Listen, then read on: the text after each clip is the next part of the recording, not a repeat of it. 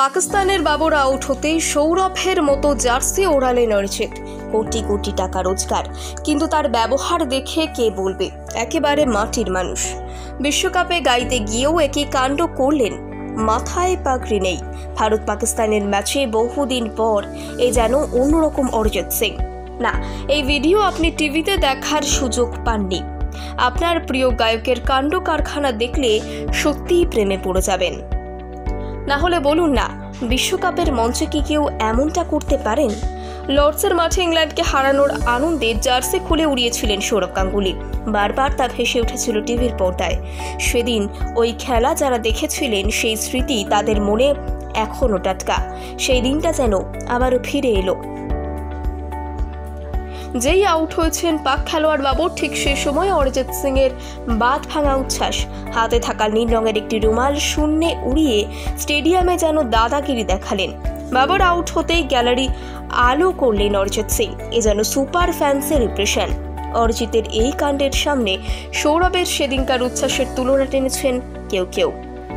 Interview থেকে party কোনো কিছুই তার পছন্দ নয়। যা কিছু করেন সবটাই নিজে। নিজেকে প্রকাশ্যে খুব কম আনেন।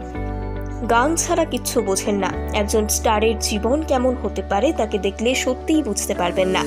আবারও এক কাণ্ড করে সকলকে অবাক করে দিলেন। গায়ককে হাতের নাগালে পেয়ে সাংবাদিকদের তরফে প্রশ্ন করা হয় অরিজিৎকে, ভারত পাকিস্তানের ম্যাচে এদিন মঞ্চে কি কি গান গাইবেন তিনি? ক্যামেরা দেখেই হন হন করে এগিয়ে যান অরিজিৎ। হাসি মুখে এগিয়ে যাওয়ার চেষ্টা করেন সাংবাদিকদের। কিন্তু সেই সময় উত্তর দিতে বাধ্য হলেন শেষমেশ। কিন্তু এমনই উত্তর দিলেন যা শুনে উপস্থিত সকলেই যেন ঘাবড়ে গেলেন। অরিজিৎ বলেন, কি ইন্টারভিউ দেব? খুব খিদে পেয়েছে, তাই সবার আগে বলুন, কিছু খাবার আছে? অরিজিতের এই উত্তর শুনে সবাই তখন হেসে ওঠেন। এই প্রশ্ন দেখেই বোঝা যায় তিনি কতটা মাটির মানুষ। বিশ্বকাপের এই অনুষ্ঠানে যেন এক অন্য অরিজিৎ সিং জ্যাকেট ডেনিম পরে দেখা গেল গায়ককে হাতে সেই গিটার, তবে অন্য দিনের চেয়ে অনেকটাই তিনি আলাদা। বহুদিন তাকে এমনভাবে দেখা যায়নি। এখন তো অরিজিৎ সিংকে সচরাচর মাথায় পাগড়ি ছাড়া দেখাই যায় না। এখন যে ধরনের পোশাক পরে পারফর্ম করেন, এদিন তেমনটা পরেননি। সম্পূর্ণ আলাদা মেজাজে ধরা দিলেন তিনি। ভারত বনাম পাকিস্তান ম্যাচে উন্মাদনা আরও বাড়িয়ে তোলার জন্য হাজির করা হয়েছিল অরিজিৎ সিং সহ আরও কয়েকজন বিশিষ্ট শিল্পীকে। ভারত পাক ম্যাচের আগে বৃহত্তম ক্রিকেট স্টেডিয়ামে পারফর্ম করলেন তারা।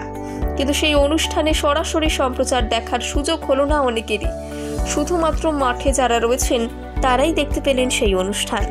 যেহেতু আইসিসি ও ভারতীয় ক্রিকেট বোর্ড মিলে ঠিক করা হয়েছিল, এবারের বিশ্বকাপের পুরো উদ্বোধনী অনুষ্ঠান রাখা হবে না। তাই একটি বিশেষ ম্যাচকে ঘিরে কোনো অনুষ্ঠান সম্প্রচার করা থেকে পিছিয়ে আসা হয়। কিন্তু অরিজিৎ সিংয়ের প্রতিটা মুহূর্ত দর্শকরা মিস করেননি। প্রত্যেকটি ভিডিও ভাইরাল সোশ্যাল মিডিয়াতে বিশ্বকাপের মঞ্চে অরিজিৎকে দেখার আশা কিন্তু পূরণ হয়েছে সকলের।